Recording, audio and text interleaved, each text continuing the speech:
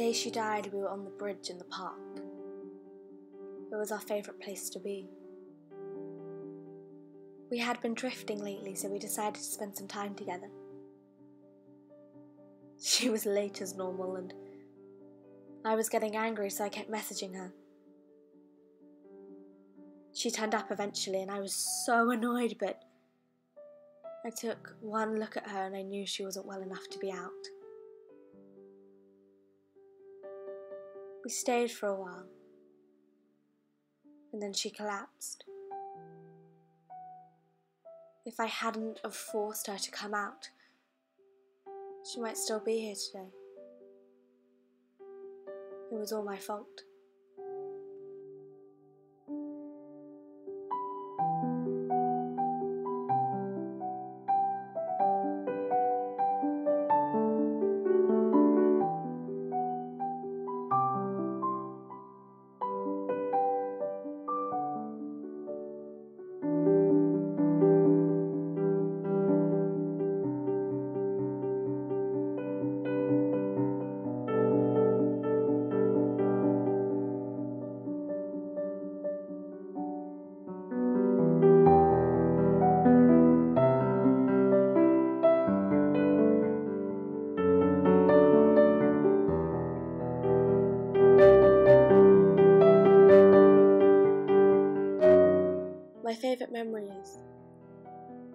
Actually, it's of these two mugs that we had.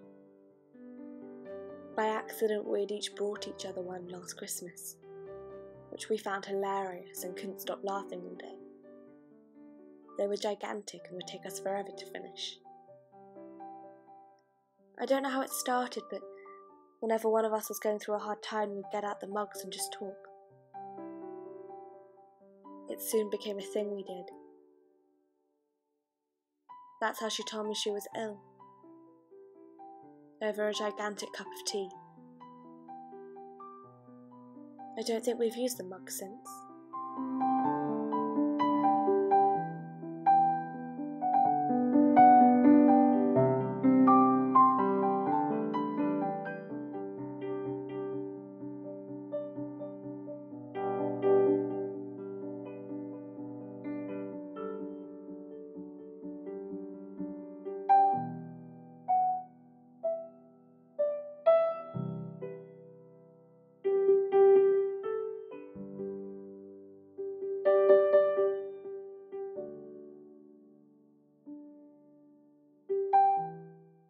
No one tells you about the emptiness you'd feel once they're gone.